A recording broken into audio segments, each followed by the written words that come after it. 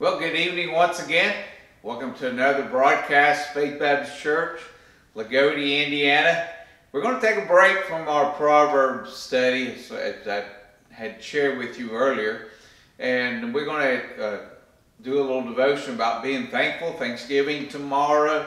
Uh, I always have enjoyed Thanksgiving for many reasons. When I think back uh, on my uh, heritage, uh, Thanksgiving was a, a special time uh, for family and special events. I think I, all of you by this point uh, recognize that I'm an outdoorsman and I love uh, pursuing whitetail deer.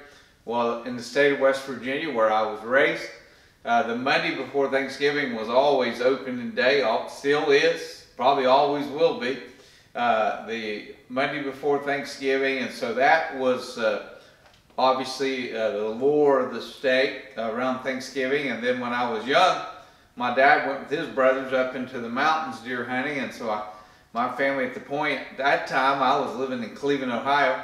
And so we would come down to my grandmother's and spend the Thanksgiving week while my dad pursued the deer. And so Thanksgiving has a lot of warm memories and a, a special time. And I hope, hope it, uh, that's true for you also. I hope Thanksgiving is a special time. It seems like uh, uh, as our nation and our world has become more and more commercialized, uh, that we can't hardly even get the turkey down, and uh, they're wanting uh, wanting us to go Christmas shopping. Used to be uh, Black Friday. Remember that day after Thanksgiving? Well, that wasn't quick enough for them. Now they even Thanksgiving night at a certain hour the stores are opening. And before you know it, I was Christmas shopping before we even enjoy our Christmas meal. Uh, now, I'm not, don't want you to take me as a person that's just uh, built to complain. my, my, wife may feel that, but I don't want you to think that I'm just built to complain. Uh, so, but Thanksgiving is a special time. And so begin reading with me, if you would, in the fourth chapter, book of Philippians, reading the fourth through seventh verse. Rejoice in the Lord always. And again I say rejoice. Let your moderation be known unto all men. The Lord is in hand. Be careful for nothing, but in everything, by prayer and supplication with thanksgiving, let your requests be made known unto God, and the peace of God, which passes all understanding, shall keep your hearts and minds through Christ Jesus. Now, you see how that's all packaged? Uh, we're, we're, to rejoice in the Lord. You know, when you're being thankful, it just kind of makes you more happy, doesn't it? You, you, you appreciate things, you look forward to things. And uh, your moderation, you know, self-control. Yeah, let everyone know that. And it says, be anxious about it and nothing, but prayer and, and supplication with thanksgiving. You know, a thankful heart goes a long ways. Uh, and I'm just as guilty as any person on planet, maybe more guilty. I have so much to be thankful for. I really do. I have, have a wonderful marriage. I have wonderful two beautiful uh, girls or ladies, if you would, as my daughters, uh, grandchildren. I have uh, son-in-laws, uh, my parents, godly parents, uh, my brother and sister-in-law and niece, and you go all layers. So family-wise, I'm, I'm covered. And then uh, health-wise, we've been very thank, uh, fortunate in Lily Home, very blessed, if you would, uh, especially this calendar year. Miss Sheila and I were looking the other day. In this calendar year, we've been blessed beyond measure with health, very little sickness, few headaches, a few aches and pains but outside of that, very little sickness. And you go down the list, but I, I don't want to get ahead of myself, and I kind of have. uh, you know, living life in a, a, a thankful state brings uh, glory to God, doesn't it? You know, he, He's the one that provides. You know, the Philippians uh, were told to always live with Christ in mind. You see, your moderation, everything, bringing Christ in. And as we keep Him in, you know, as we live our lives under spiritual moderation, uh, moderation actually is gentleness, if you would, on our Christian journey. uh, will be attractive within, without. Have you ever came across somebody who is genuinely uh, uh, gentle and generous? Now, sometimes it's a big, tough exterior outside, but they're very gentle inside. And, and, and that goes a long ways. Now, uh, thankful, thankfulness will bring peace. Did you see that? Look what it says um, in verse 7. And the peace of God, which passes all understanding, shall keep your hearts and minds through Christ Jesus. Our hearts and minds. Now, it isn't talking about uh, the heart and mind in the sense of the, the organs, uh, but it's talking about the heart. Heart is who we are, the Bible says. It says, out of the heart, uh, you know, man responds. And our mind, our thoughts, all through the Bible, we're told to control our thoughts, control our mind. So these are very, very uh, interwoven in our journey, those two. And the Bible says that we can have peace. Uh, then, uh, you know, th- there's two things that a believer needs in our prayer life thanksgiving, and when we're thankful for who we have a relationship with, and then perseverance, uh, patiently waiting upon God's guidance. Charles Spurgeon had the following to say It is not how much that we have, but how much we enjoy what we have. Isn't that true? I really like that. It's not how much we have, but it's how we enjoy what we have. So uh, I want to spend the next few minutes, uh, next uh, 12 minutes or so, uh, giving you a few primers that should lead us to Thanksgiving. We're told to be thankful for what we already have. Uh, turn with me, if you would, to verse 11, and it says, Not that I speak in respect of want, for I have learned in what state I am therewith to be content. Did you see what Paul said? Paul said, wherever I'm at, I've learned to be content. Then it breaks down, and I don't have time to read it all, but he talks about he's been full, he's been hungry, he's been cold, he's been comfortable. And isn't that most all of our lives? Uh, I didn't put this silver in with a bottle. Uh, I earned it. I've been here on this planet. I've made a few trips around the sun. And uh, so I've earned uh, that gray hair and I've earned uh, uh, that aging process, if you would. But one thing I've learned, there's been days, there've been some good days. There's some days that I wouldn't have traded for anything. Some of the highlight days. And there's been some days I'd just like to leave out. I wish I never had to. Uh, they were part of my portfolio, if you would. Uh, so, so we see that. Now it goes without saying that if, if you if we're not satisfied with what we have, we probably will not be satisfied with a little more. Uh, theologically, this is known as contentment. You've heard that word, be content. Jesus talked about contentment. The Bible repeats over and over and over, it's repetitive about this issue of contentment. Uh, you know, and back to that earlier state, uh, phrase, excuse me, uh, where if we're not content where we're at, probably a little more isn't going to change.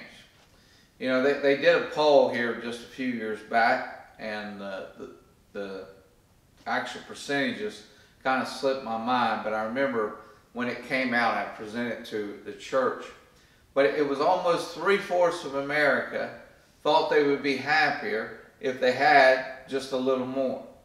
Now they didn't ask them if they had uh, like double their income or double, like if you were in a certain tax bracket, they asked you if you'd be happier if you're in this tax bracket.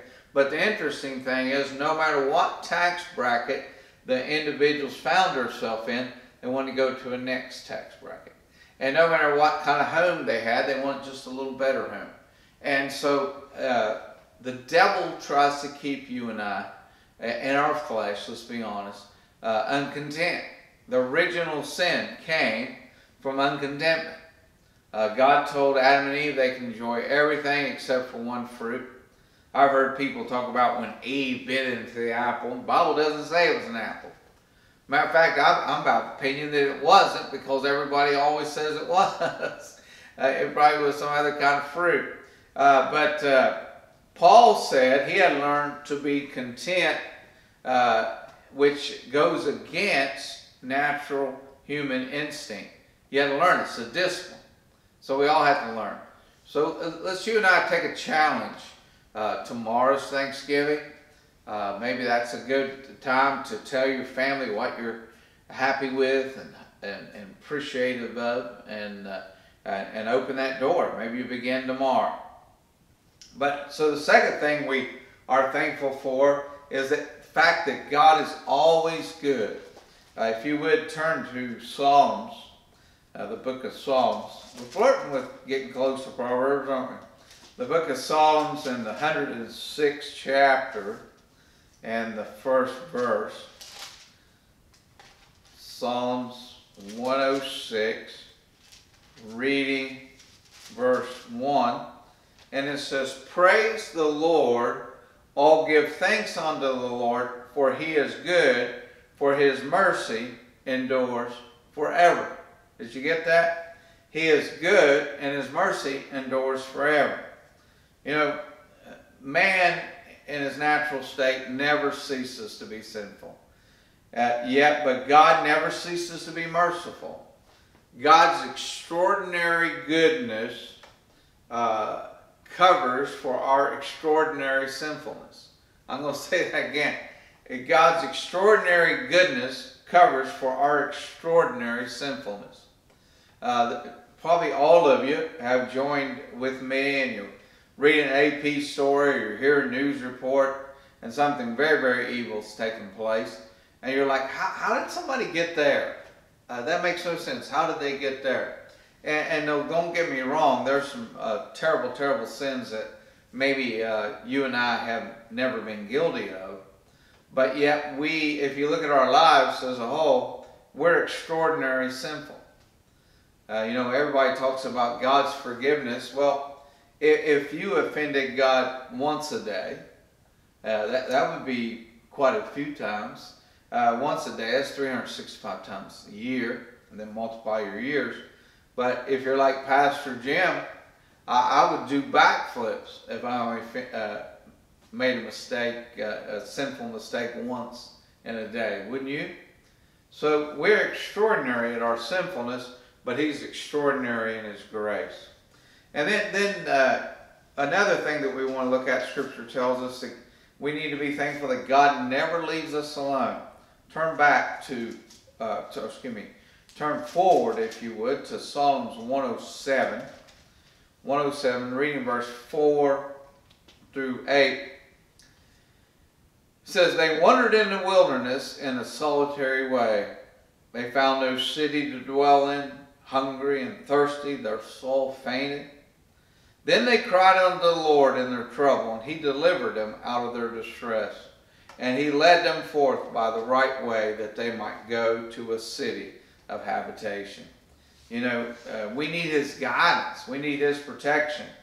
Uh, you and I, uh, as believers, uh, can't be trusted to be alone by ourselves. When these people were in the desert by themselves, it only led to thirst and hunger.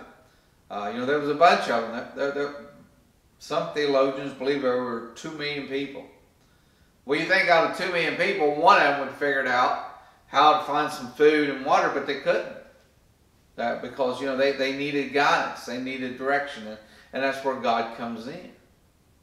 And we see that. Uh, now, he delivers, uh, uh, you know, us if he provides for us. He straightens our path. Think about some of the things that he gives us on a regular basis. Food, clothing, shelter, unconditional love. Uh, Dane Ortlund says the following.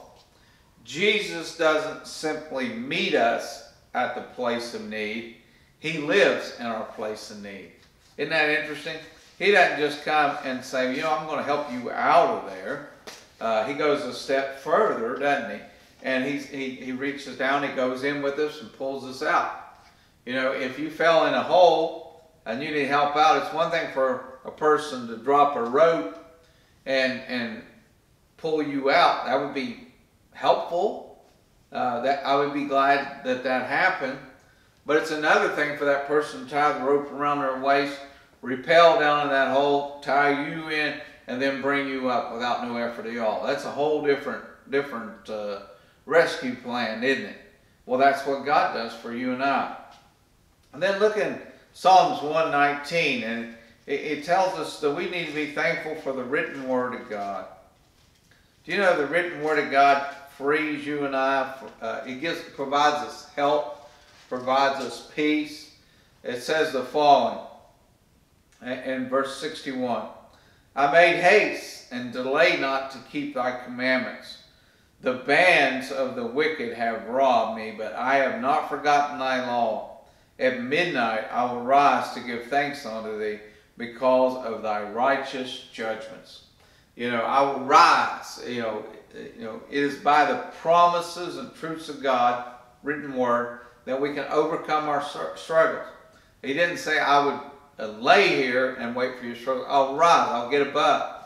The way we conquer the uh, conflicts of life is that God provides us. He, he leads us. He, he brings us forward.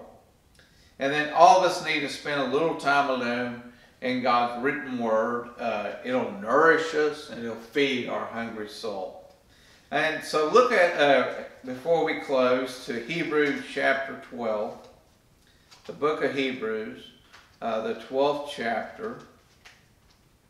And we'll look at the 28th verse.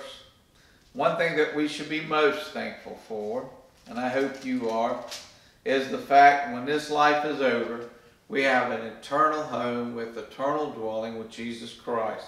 And he tells us that in verse 28. Wherefore we receive a kingdom which cannot be moved. Let us have grace whereby we may serve God with reverence and godly fear. You know, uh, Jesus cannot be shaken. Therefore, his kingdom cannot be shaken. Uh, you know, this world is affected by nature. This world is affected by culture. This world is affected by human reasoning. Uh, but the eternal abode that we're going to is not affected by anything but the grace and mercy of Jesus Christ. You know, uh, before I close, there's a, there's a song and there's a line and it's always grabbed me. And it says, All is well, the debt's been paid, all is well, I've been saved. And if that's you tonight, if you know for a fact that you're a born again believer and, and you're saved, a saint of God, all should be well with us, right? Well, listen, I hope you have the best Thanksgiving tomorrow. Uh, as you enjoy, I don't know, people get away from the traditional meal. I love the traditional Thanksgiving meal, you know, the, the turkey, the mashed potatoes, the gravy, the green beans, the roll, uh, the whole thing. And uh, I probably left out a few ingredients. And yes, yes, yes, I definitely love the pumpkin pie. Uh, one of my favorite things to do at Thanksgiving is after it's all said and done, usually I'm so full from the meal I have to wait till later to have the pumpkin pie. I don't know about you. Uh, usually have pumpkin pie, glass of milk, watch a little football. Uh, yeah, tomorrow's going to be a special day, and I hope all of you enjoy it. Uh, let's join me in being thankful uh, to all these things we mentioned. May God bless you. Uh, let's close in word of prayer. Father, we thank you so much for Jesus. We thank you for these, your listeners. I ask you bless them, Lord, be with them all tomorrow as they have their Thanksgiving meals and time with family. Uh, some of them are just uh, some of the family members they may not see on a regular basis, but they'll get a visit with them tomorrow. And Lord, whatever's accomplished from word and deed, we'll give you the praise. In Jesus' name we pray. Amen.